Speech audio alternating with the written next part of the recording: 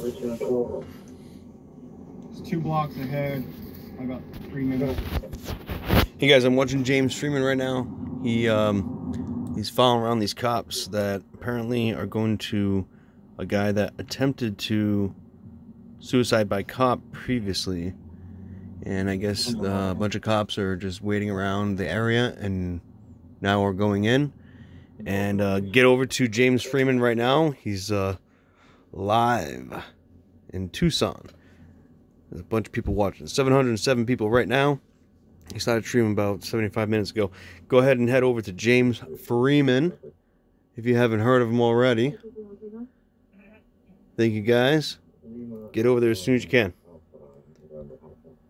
Is anybody following? Oh.